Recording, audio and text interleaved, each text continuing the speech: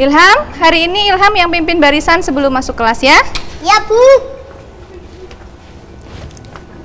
Teman-teman, sebelum masuk kelas, kita berhitung dulu. Berhitung, mulai. Satu, dua, tiga, empat, lima, enam, tujuh, delapan, sembilan, sepuluh, sebelas, dua belas, tiga belas, empat belas. Loh, tapi kurang satu jumlah muridnya. Coba diulangi lagi, coba Ham, ulangi lagi. Berhitung, mulai. Satu, dua, 11, 12, 13, 14. Tetap kurang satu, Bu. Iya, siapa ya yang tidak berangkat? Bu, kalau nanya yang tidak berangkat, ya nggak jawab lah, Bu. Kan orangnya nggak berangkat. Uh, maksudnya ibu nanya sama kalian. Ih. Nggak ada, Bu. Berat semua kok. Komplit.